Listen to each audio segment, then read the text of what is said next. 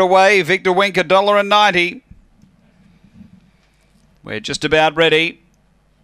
And uh, the light is activated, set to run. This is race five at Gawler, ready to race. They're away. Touch slow out as Red Faith uh, showing speed. We've got pushing on strongly. Fabriental's going to clear out by three over Victor Wink, and then came Coolb's Valley. Uh, out wider is Top Weight, and then came Temerity. Next is Red Faith, and back toward the tail end we've got Relton along with Bogan at Heart, but on the turn Fabriental straight in the leader, clear of Victor Wink. It's in front Fabriental, and Fabriental first. Uh, second uh, goes the way of Top Weight, and they were followed close up by Victor Wink, and behind those we had Coolb's Valley with Temerity, and then Bogan at Heart, Red Faith.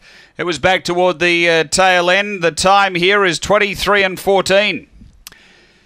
Number five, the winner, which is uh, Fabriental for Des Hockley. It's 5, 6, 1 and 2 here. 5, 6, 1, 2. Number five, Fabriental, Des Hockley for J. Scott, Enanise, P. Andriani, R. Andriani. A Black Dog, February 2015. Fabregas, what could have been. Number five, second to six, top weight. Lisa Rasmussen, a Black Dog, November 2014. Premier Fantasy up and away. And uh, number one, which is Victor Wink, Robin McKellar, a Blue Dog, January 2015, El Grand Senor Victor Explorer. So it is 5 6 1 2 after race five at Gawler.